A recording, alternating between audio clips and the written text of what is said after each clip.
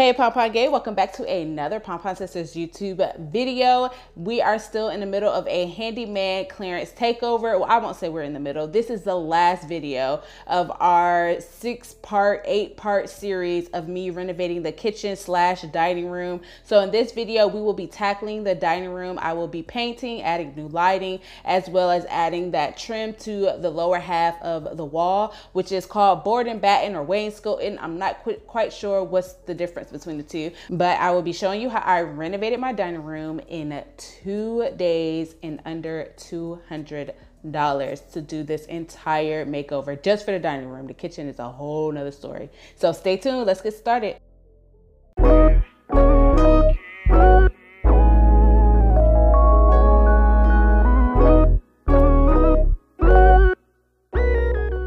Right, so I'm hoping to finish this in a day. I am now going to start our dining room renovation. This is the wood that I purchased from uh, my local hardware store. Mine is Lowe's right around the corner. I purchased uh, furring strips. I believe that's what it's called. I'll leave the link down below for you guys so y'all can click on it and try to find out um, what exactly is, but it's very inexpensive. I'm trying to do like a board and batten wainscoting um, on the bottom half of my dining room wall, and then the top half we will be painting.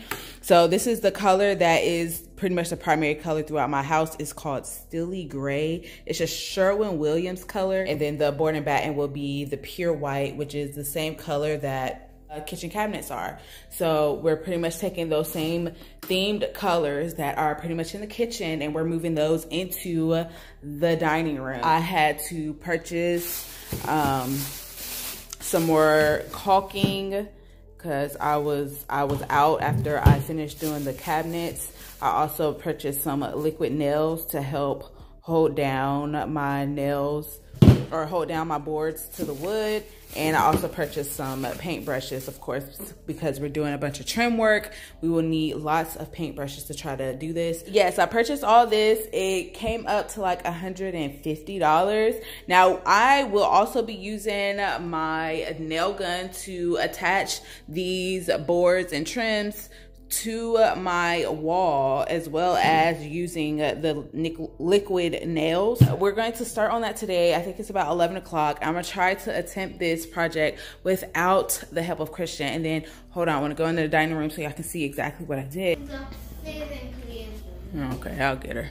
All right, so this is the dining room. Here's the kitchen. I'm stand from the kitchen so y'all can kind of see the point of view that I have right now. There we go. So there's the dining room, dining room table. As you can see, it is a nice and open now. We have the fridge over here to the left. Those are the cabinets that I just did, as well as over here. Those are complete, and we're just waiting to do the bottom cabinets. As you can see, the the it did not take long for us to break in the breakfast bar. It is definitely being used. We have junk everywhere, but of course I'll clean it up and make it Instagram worthy once I am done doing all my work in here. So as you can see, all of my blue tape that I taped around, that's pretty much the level height that I want the board and batten or the to go in to reach. So I measured 48 inches. So everything below the blue tape, that is 48 inches from the floor. So, um, yeah, this will be pretty much the pure white will be down here as well as, well as all the trim.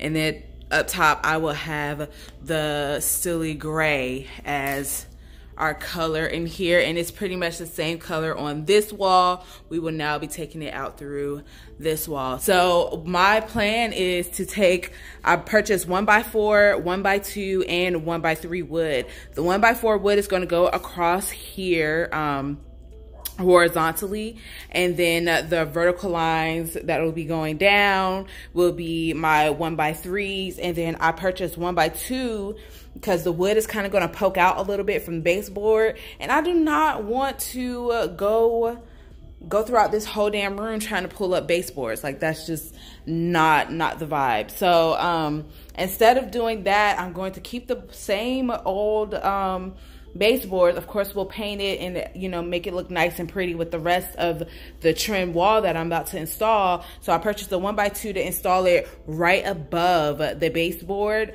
so that the trim goes flush with the one by two and then it just kind of looks like a decorative baseboard down there. Hopefully by five o'clock, I am done. The girls are currently eating breakfast and doing homeschooling. Say hi. So, um, she'll pretty much be in here hearing all of my noise and while I'm still helping her do her homework. So multitasking mom right now. Let's go ahead and get to work. I'm done talking. We will go into further details later. If you have any more questions, of course, comment below. Let me know what y'all think, what y'all, you know, how far I get. I just, I'm excited. I'm excited. I'm sorry. All right, I'm gonna go. Bye. I will begin installing my furring strips to the bottom half of the wall. I started from the very bottom, putting that one by two board right over the baseboard. And like I said before, that's just to make sure that those horizontal boards will be nice and flush to the trim at the bottom because I didn't want to replace the baseboards. And then at the top, I am installing the one by four furring strips as the top part of the trim. And then the one by threes will be going uh, vertical down the wall. And I decided to space mine out 16 inches apart and I just used some liquid nail and my nail gun and got this job done. So that's pretty much how I got it done. Oh y'all my back is hurting so bad. Because most of this required nothing but floor work so I am hurting, but this is almost done because I'm not done. so I at least have uh, the wood done on three out of the four walls. This wall right here, I miscalculated on my bottom strip that I need that goes across the baseboard. So I will have to order or uh, head to Lowe's and pick up one more uh, rod. I'm Pretty sure I actually have it here at the house. I probably have some scrap wood here at the house that I could probably just make a quick um, one by two board real quick and put it down there so I can be done. But I am too tired to pull out my table saw or anything like that. So I would just go ahead. it's only like five o'clock. Sorry, the sun is so blinding during this time of the day because the sun comes right through that window. So um, I'm gonna just go ahead and uh, caulk the rest of, or I'm just, I'm a caulk. I haven't caulked anything um, to seal all of our, you know, gaps and stuff like this between here. We want to seal that, make it look all nice and flawless, as well as across here because we don't want that to be seen either. And you know, other places. Well, that that'll actually be wood filled, not caulked. So. It looks good. Like I'll show y'all a full view. Stand up close on it, you can't really see. But it looks really good. All the wood looks good. I like the framing so far. I can't wait to paint. I cannot wait to paint, so yes. Yes. All right, I'll let you guys go now. So I went ahead and uh, caulked all of my seams as well as wood fill any gaps or any knots that I had in my wood. Furring strips are not the perfect perfect perfect like straight wood. So they do come with knots and dits and dings and stuff. So just make sure you are going to go in there and fix all that. Took a small break because my back is killing me but I am finished with the top half of painting. This paint oxidizes so much. It's just crazy how much darker it dries. Um, so yeah, it looks like I may have missed, you know, but no, it's just it's just wet and it's taking its sweet time drying. So I'm probably give it another hour 30 minutes um, to dry i'm then gonna go in and start sanding down lightly. So um, as you can see these spots right here this is where i applied my um, wood fill. So there was like a couple of holes and stuff in the wood because the wood is not perfect at all. It's not clean nice wood. It's two by four and two by four or not two by four, but it's plywood, and sometimes plywood comes with lots of notches and these little knots, which I don't mind. But if you want something that's like very clean and sleek, I do not recommend using the plywood as your wood. Um, so over here by the window, so of course I had to add some shorter beams here under the window. I'm sorry, the light, the sun shines right through this window. So it's kind of messing up my focus. But um, right here on the edge, I did a 45 degree angle cut and uh, the reason why I did that is because I want to kind of look flushed with the window. As you can see, it doesn't like poke out like crazy. I'm sorry, give me a minute.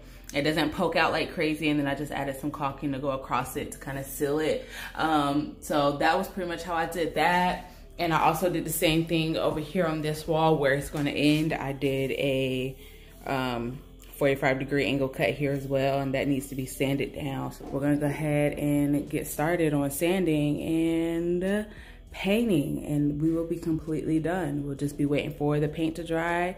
I'll hang myself back up and we'll be done.